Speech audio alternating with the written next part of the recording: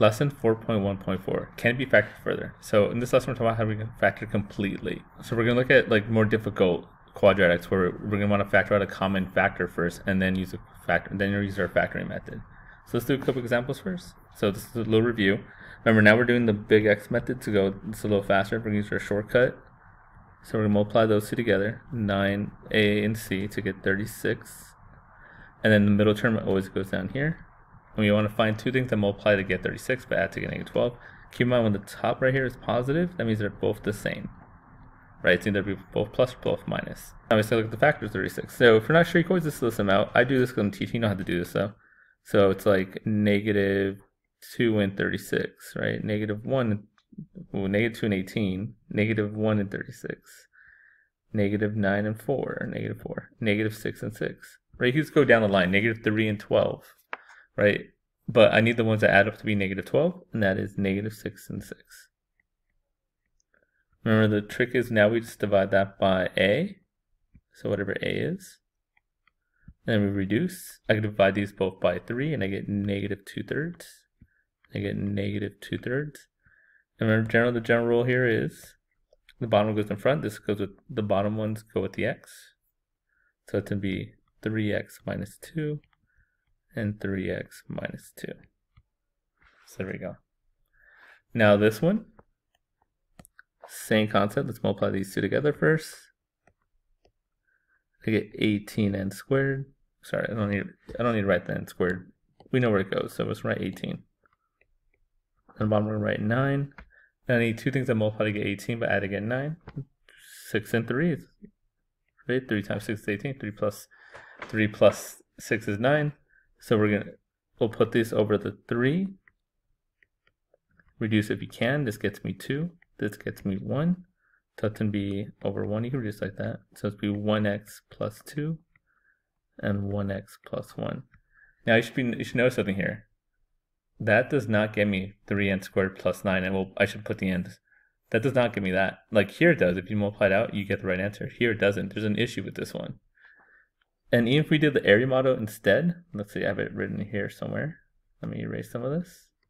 Do the area model. And if we do the area model, so like if I broke it to 6 and 3, and if I did the same thing, but we did the area model way,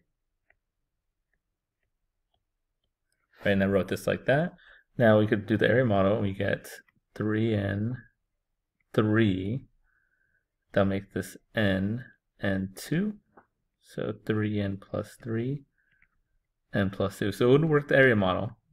So that would work out. But just me something fishy and we'll talk about it. So the next question.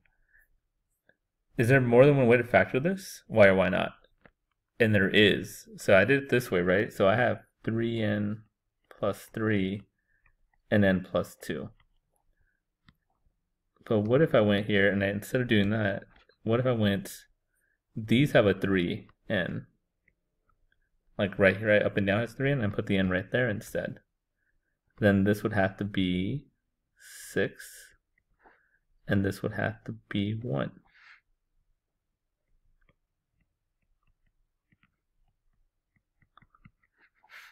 I can also factor that way. There's more than one way to factor that.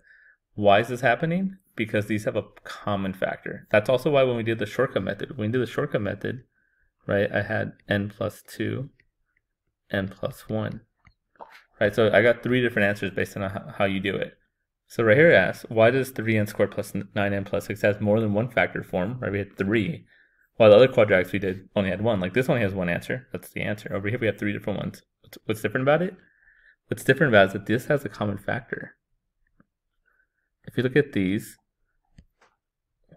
I could I could factor out a 3 from all of them, right? 3n squared plus 9n plus 6, they all divide by 3. So if, if you factor out the common factor, then you get this. And that's always to be our first step. We always want to factor out the common factor, and then you can factor like normal. And that's actually what the shortcut method got you. It factored this side like normal and got that. It just got rid of the common factor. These, you can factor out, you could factor out 3 from this one, and you get 3 n plus 1 times n plus 2. So it's really, we should get the same answer. It's just, if you don't factor out the common factor, it, it kind of makes it go kind of haywire. So step one is always factor out the common factor if they have one. So look if they could be all be divided by something first and factor it out.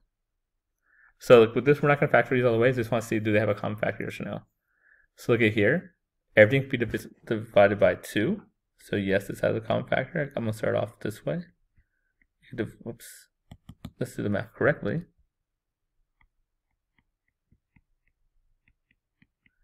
So we won't factor this anymore, but like that'll be the first step, and then we'll factor this doing the big X. This one, look at they all have a five in common, so you can factor out the five.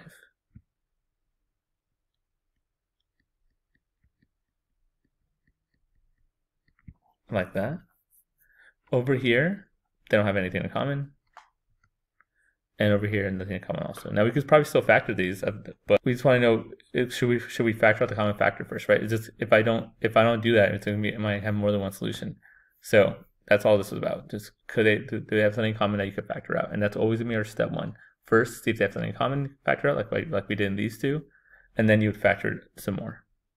Factoring completely. In part C of problem 14, you should have noticed that each term in 12t minus 10t plus 2 is divisible by 2.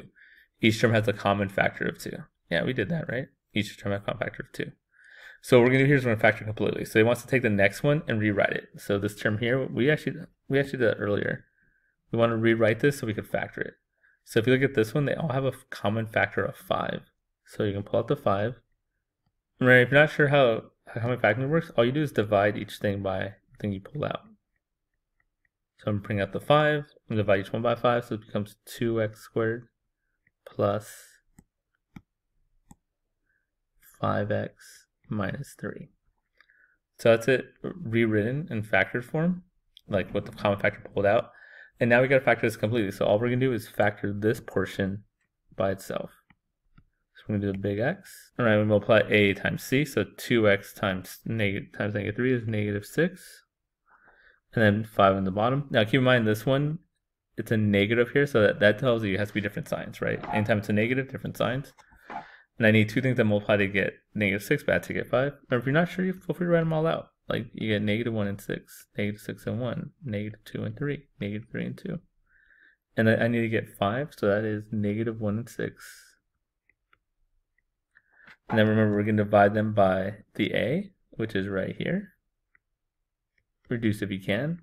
So this is I can't do anything with negative 1 half, but this side I could get 3 over 1. So remember the way we write it? It is always, that's in the front, that's by the x. So 2x minus 1. And then on this one, right, the 1's in front, so 1x plus 3. But don't forget the 5 that we factored out earlier, that's also part of it. So like this. So that's how you factor completely. Factor out the common term first, then factor like you normally do, and then don't forget the common term when you write out the complete factored. There we go. One last bit here. Let's factor each of the following expressions completely. I'm just gonna do the first one. We'll do that one in class. So look at this first one. It's a little tough, right? x squared y minus 3xy minus 10y. That looks complicated. What do you notice they all have in common though? They all have a y, so we could factor it out. So you pull out the y, right? You divide everything by y. The y's cancel. You just get x squared minus 3x minus 10. If you're not sure how I get that, all you have to do is divide each term by the thing you pulled out. And in each one of these cases, the y is canceled. So I get that. Now we still got to factor this. So let's do big X.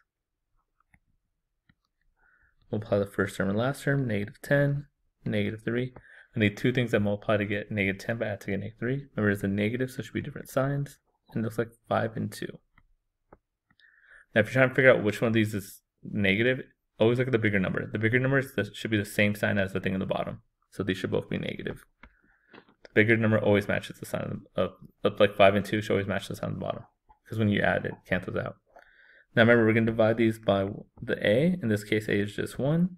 So we get 1x minus 5 and 1x plus 2. Now remember, you don't have to write the 1. You just write x minus 5 and x minus x plus 2.